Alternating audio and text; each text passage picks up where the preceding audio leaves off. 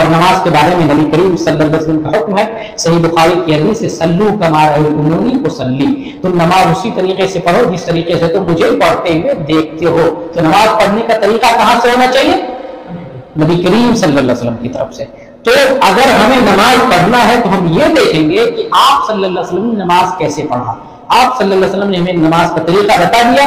अन हुजैफा कान नबी सल्लल्लाहु अलैहि वसल्लम इदा हज़बहु अमरुन सल्ला।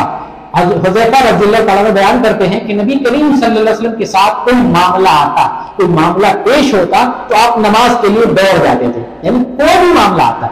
हमारे पास कोई मामला आता है तो कुछ लोग हैं बाबा, सीधे बाबा के पास दौड़ेंगे कुछ बच्चा बीमार हो गया, कुछ मामला हो गया, दौड़ बापा कोई मजार बना हुआ था कोई दरगाह बना हुआ था टाइम भी नहीं लगता, पता भी नहीं, किसी से पूछना भी दौड़ गया।